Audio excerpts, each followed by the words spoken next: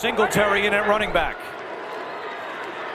Garrett is coming. Allen in trouble. Allen goes down. And no one really knows what exactly to expect. Good protection, aired out. Cooper!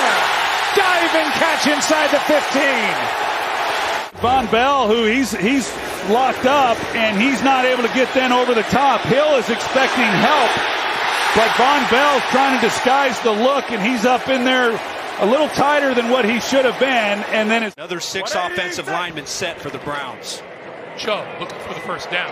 Sweeping to the right. He's going to get it. Breaking tackles and up the sideline.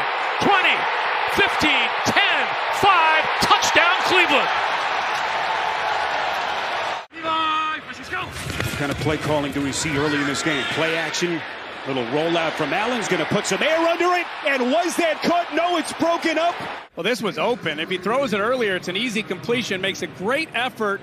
I don't know that that ball hit the ground. With the football along the sidelines, yeah, I think you've got a pretty good argument. After the field goal for the Ravens, first and 10.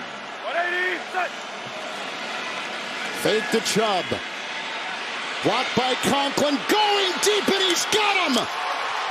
Amari Cooper out of bounds. Forced there by. To the top of the screen is going to release to the inside. Looks like he's running a skinny post. Instead, he sticks his foot in the ground, ground and runs a high angle.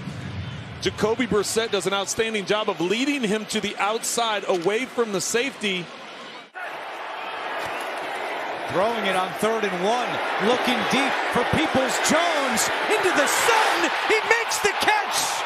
Ended defender, and he still made the play. This is such a good throw by Jacoby Brissett. It's got a lot of height underneath it.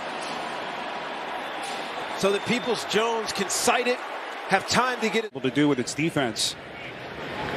Just hasn't been the case on the scoreboard. Just a five point lead. What a punt here by Johnston. Peoples Jones going to play it from the 25, breaks a couple of tackles. Peoples Jones still going, maintains his balance.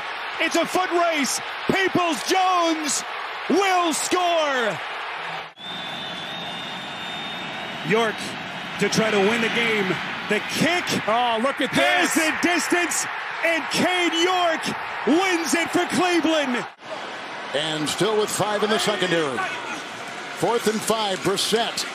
And to the end zone. And Cooper.